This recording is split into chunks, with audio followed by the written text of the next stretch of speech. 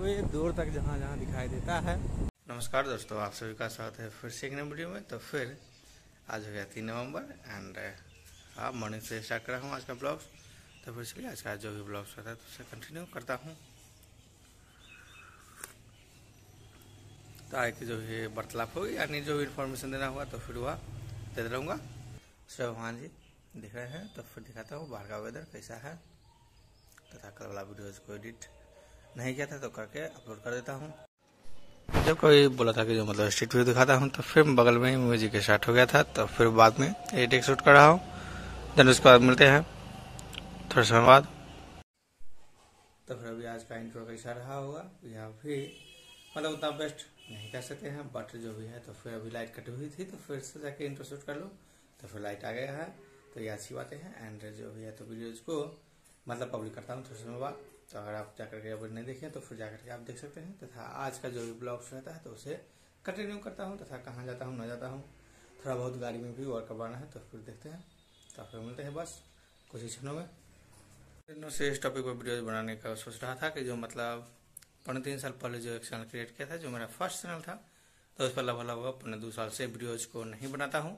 और उस पर न जाने क्यों एक वीडियो मतलब थोड़ा बहुत सब्सक्राइबर्स भी बढ़ रहे हैं, जो कि मतलब इस पर कंटिन्यूसली वीडियोज़ बनाता रहता हूँ तो इस पर जिस पर वर्क करता हूँ तो उस पर न बराबर और जो उस पर न करता हूँ तो उस पर बढ़ रहा है।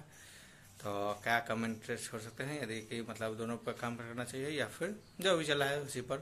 तो फिर मिलते हैं। आई होप कि ये दिन अच्छा हो। तो फिर मिलते हैं। चलिए थोड़ा सा आते हैं। राइट पर से उसके बाद जो भी आगे का प्रोसेस रहेगा।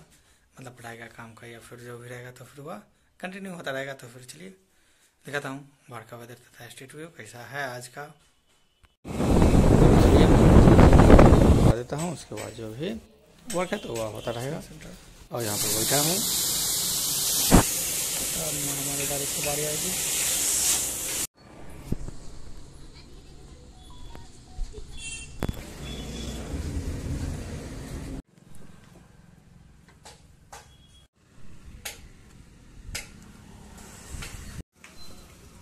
काफ़ी दिनों के बाद यहाँ पर बैठा हूँ।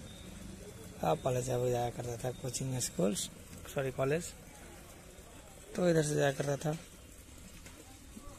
यहाँ से घर दो किलोमीटर की दूरी पर है स्थित। और यहाँ पर हनुमान जी का मूर्ति जो कि टेंपल बनने को है। बन जाएगा लगभग दो चार साल में अप्रोक्स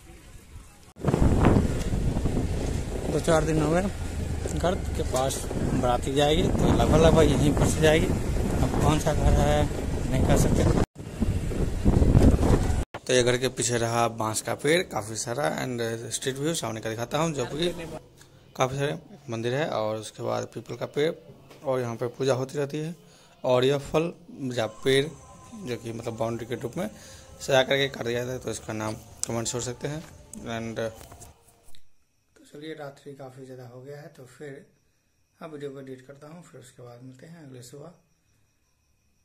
तो वीडियो देखने के लिए बहुत बहुत धन्यवाद।